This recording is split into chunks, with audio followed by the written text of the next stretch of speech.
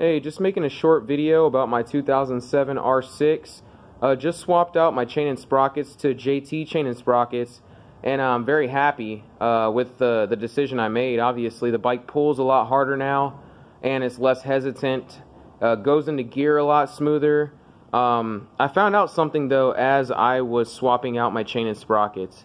So let me show you all what I ended up finding out. Um, if you see my front sprocket there, all of this here broke off.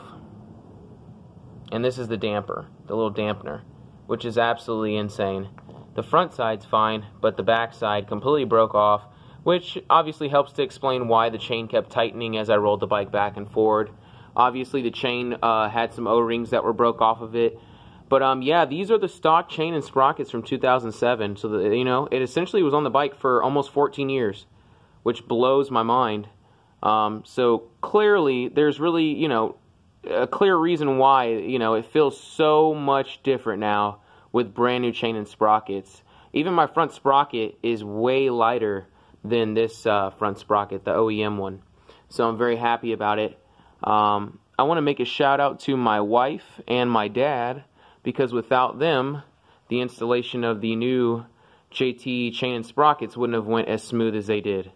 So I'm very happy to have my wife and my father help me out with this. Um, just made the job go by so much easier and smoother. Um, but definitely keep an eye out, man. I plan on uh, doing a lot more racing videos coming up here soon. Um, racing is my life, so that's why I do it. And I bought the bike to go fast, so definitely keep an eye out, y'all, for uh, more racing coming up here soon. Fork seals will be replaced here shortly. I need to swap those out there for some new um, little paper towels and zip tie them up. Um, if you haven't seen my video on that, check that out. I made a video about fork seals leaking. I only did that temporarily, obviously. It's not a fix.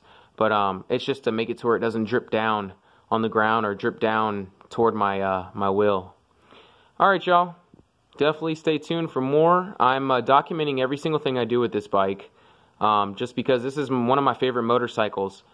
Um, this is definitely my favorite generation 600 ever made, because I feel like it's the most beautiful. And uh, luckily, I got the bike for $800, so I'm not really complaining. The original owner, he crashed it into a mailbox, and uh, me, my wife, and my dad, we took it and rebuilt it. So essentially, everything is brand new. I'm just doing everything uh, slowly, and eventually every single inch of this bike will be brand new. I'm doing a 08 Nuptel conversion on the bike, so that'll be finished here shortly. And I made a video of my uh, headlights as well. I got those uh, off of eBay, so if you haven't seen that video, check that out. Definitely subscribe if you're into this Generation 600, because I'm like I said, I'm documenting every inch of what I do, and I plan on racing the living life out of this bike. All right, y'all. Peace.